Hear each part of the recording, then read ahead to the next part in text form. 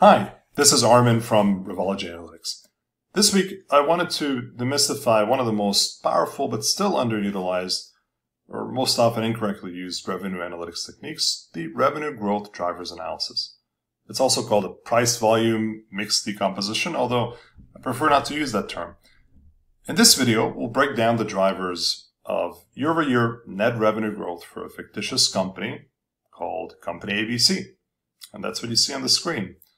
For this example, we want to understand how much of the year-over-year revenue growth was driven by our pricing actions, our ability to sell more volume, or better managing our customer and product mix. One of the fundamental mistakes that most companies make is to conduct this revenue growth drivers analysis at an aggregate level, often at the brand or product group level.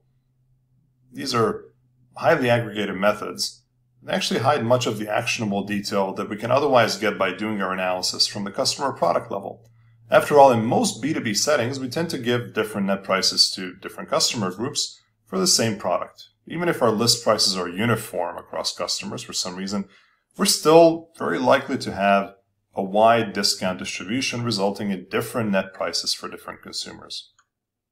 Conducting this growth drivers analysis at this detailed customer product level allows us to truly evaluate our pricing impact and help us uncover very specific customer or product level opportunities for improvement. Now let's get back to our fictitious company ABC and understand why their net revenues declined by $310 year over year. This is year to date versus the same period last year.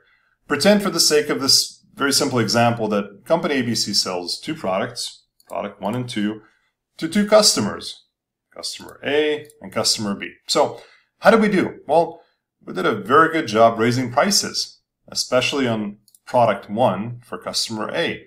Notice the pricing impact was $2,700.65, almost $2,800 overall. And 3,750 was actually driven by customer A and product one. Interestingly, for the same product, so product two, um, or sorry, product one for customer B, it was a huge price decrease, right? We actually decreased price substantially from last year for customer B by giving more discounts and more promotions. So how did we calculate the impact of our pricing actions on net revenue growth? Follow along as I double click on this formula real quick. And let's understand what's going on. Notice we're calculating the pricing impact not from weighted average selling prices at the company level or at some brand level or whatnot, but we're actually calculating customer product level aggregated transactions, right? So for customer A, we calculate the pricing impact by taking the year over year difference in average selling price that you see here, and we're multiplying it by the units that we sold this year. So for customer A, this means product one's year-to-date weighted average selling price was $125 that you see up here, which was actually a $25 increase from last year. Last year was $100. So this $25 difference times the 150 units that we sold this year, year to date, equals this $3,750 pricing realization that we attributed to customer A for product one. We simply repeat the calculation for each customer product combination, add up the results, and we get the overall net price realization impact of almost $2,800. Now, let's move on to understanding the impact of volume on our revenue growth, which you see right here. Our overall volume impact was negative $329. It's mostly driven by a huge positive impact of almost $5,500 by customer A and product one, and a huge negative impact of almost $5,000 for customer B and product two. Right? We sold more stuff here and we sold less stuff here. So how do we calculate the impact of volume on our revenue growth? The formula is simple, but it's perhaps a bit less intuitive than the pricing impact. Follow along with me again. Notice that we're calculating the volume impact again at the detailed customer product level. And then we're aggregating the results for company ABC. For customer A, product one that you see up here, we take the difference between year to date and prior year year to date unit sales, and we multiply that difference by the prior year's weighted average selling price of our entire portfolio, right? For company ABC. This is a, a more difficult concept to grasp. Why are we multiplying it by last year's average selling price for the entire company? Well, for one, we need to use last year's price to understand the impact of volume and not this year's price. But two, by using a weighted average price of our entire portfolio as the multiplier, we're able to calculate a meaningful and intuitive customer and product mix impact later on. So again, for this example, for product one, customer A, we increased our unit sales by 50 units from 100 to 150 this year. This 50 unit increase is then multiplied by the weighted average price of our total portfolio last year, which was $110, $109.60 to be exact. This results in the actual volume impact of $5,500, right? And we repeat the same exact thing for each customer product combination. We add up the results and we get the dilutive impact of volume of negative $329 on our revenue growth. Now, onto our missing piece from the revenue growth drivers analysis, the impact of customer and product mix. Follow along as this one is also a bit tricky to conceptualize, but as you'll find out, it's actually pretty intuitive. Our total mix impact was negative, almost negative $2,800 for company A. This can happen for two reasons. This year we had a higher sales mix of customer product combinations that are typically lower priced than our overall portfolio, or the opposite, right? We had a lower sales mix of customer product combinations that are typically higher priced than our overall portfolio. Let's look at how it's calculated in detail. I'm going to double click on the first customer example so you can kind of see what it's, what it's doing. Step one, for each customer product pairing, we calculate the unit sales mix in the prior period for us as year to date last year, as well as the current period. For customer A in product one, this means a year to date last year sales mix of 43% that you see up here, and a current sales mix of 66% year to date that you see here. Right? So two out of three units sold for the entire company were actually product one sales to customer A. Step two, we calculate how many units we would have sold this year had our sales mix remained unchanged from last year.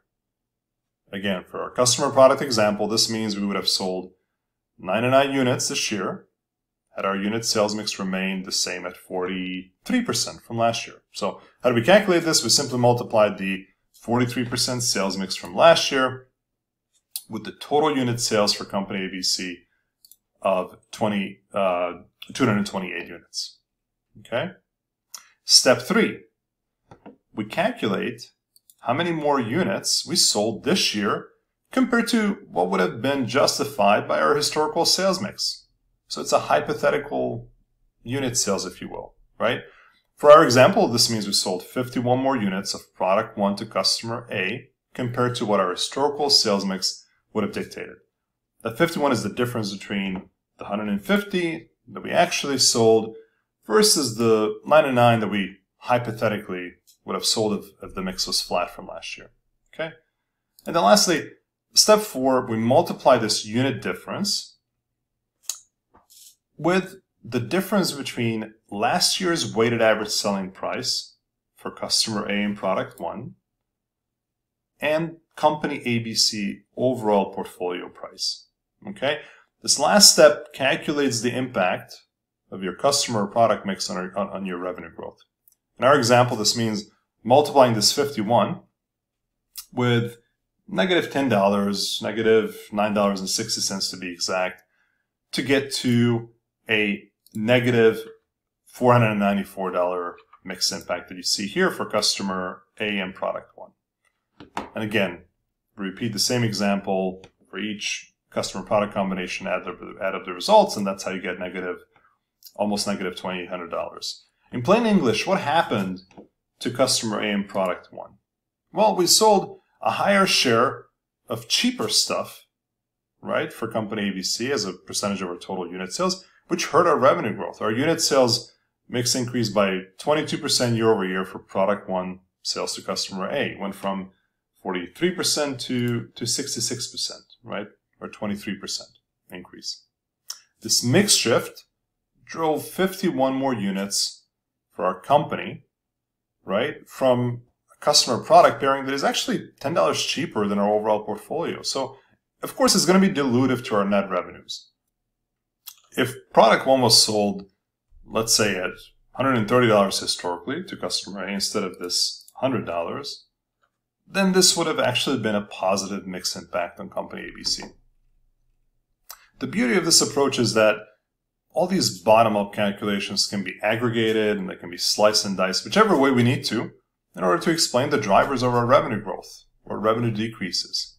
On the right side, if I if I scroll um, on the on this demo sheet, you'll notice the aggregated results at the country and the product level. So, for example, for company ABC, the U.S. business had a positive $4,600 impact through volume, positive $171 impact through mix uh, mix management, and a positive net price realization of uh, almost $3,800.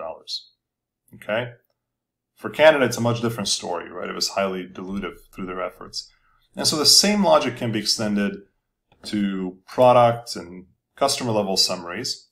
And of course, if we're explaining product level revenue growth drivers, right, where you're trying to explain what happened to product level revenues this year versus last year, or maybe this year versus versus a budget, right? When you're when you're talking about products, for the mix portion, you'll be talking about geographic and customer mix impacts. If you're explaining customer level revenue growth drivers, we'll talk about geographic and product mix and so forth. Of course, if you want to explain the revenue growth drivers, not just for company ABC, but you want to drill down and you want to understand the drivers for the US segment only, well, the basis for your analysis is going to be the US only. You can just repeat these calculations and rerun the drivers analysis at that particular level.